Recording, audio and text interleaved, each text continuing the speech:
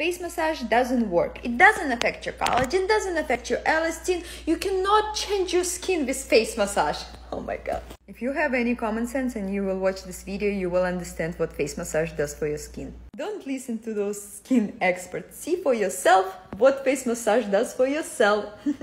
If you know anything about your skin, you know that we have epidermis and dermis. Dermis can consist of our collagen, most wanted, most marketed, and elastin. And it also has those fibroblast gases. And they are the most important because they are the one that creating new collagen and reorganizing old collagen.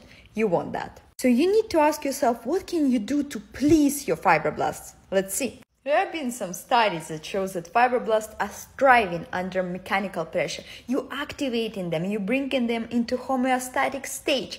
They are working on creating new collagen and reorganizing nicely old one. It means a lot for your beauty. Facial massage also increase your blood circulation in your face, which means your hyaluronic acid is thriving because hyaluronic acid it's a molecule that attracts water. You increase the flow, your hyaluronic acid plumps your skin.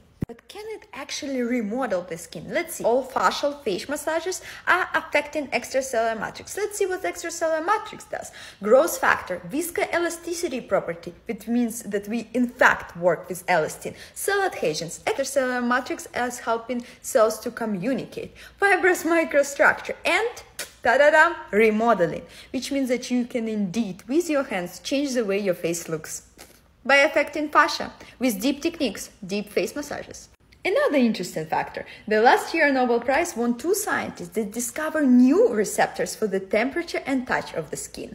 So, all skin experts, you don't know what you don't know. And if you are not on top of the research, don't embarrass yourself because face massage clearly works.